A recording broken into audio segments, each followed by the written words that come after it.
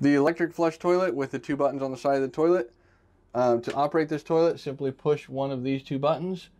The smaller button is for a smaller amount of water and the larger button is for a larger amount of water during the flush.